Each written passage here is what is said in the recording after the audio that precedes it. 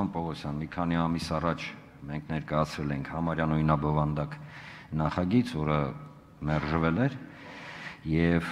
հարցերից մեկը, որը ցակել էր մեր օպոնենտների կողմից, նա էր, որ այն ցանկը ապրանքների հստակ ցանկը ինքը ինչ principով է որոշվելու եւ որ գերատեսչություններ են որոշելու, որովհետեւ ըստ նախագծի խոսքը ոչ միայն ռազմականի մասին է գնում, այլ նաեւ որոշակի բժշկական պարագաներ եւ օժանդակ որոշակի պարագաներ եւ տեխնիկա։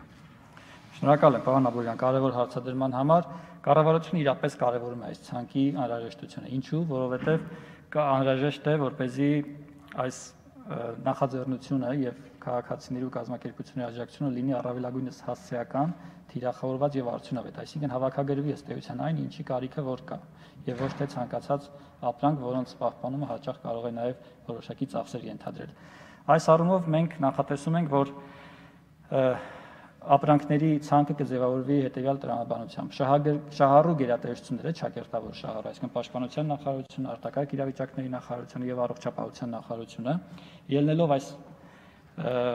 նաև նախորդ օրերի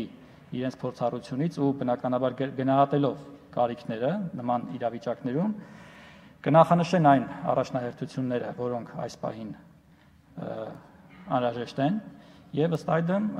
կձևավորվի այդ ապրանքների ցանկը ես կարող եմ պատրաստակամություն հայտնել, որ մենք կարող ենք սերտ աշխատել, եթե կլինեն առաջարկներ ձեր կողմից, ձեր խմբակցության կողմից, մենք պատրաստ ենք բնականաբար դրանք քննարկել եւ ըստ այդմ նաև դրանք կարող են տեղ գտնել այդ ապրանքների ցանկում։ Շնորհակալություն։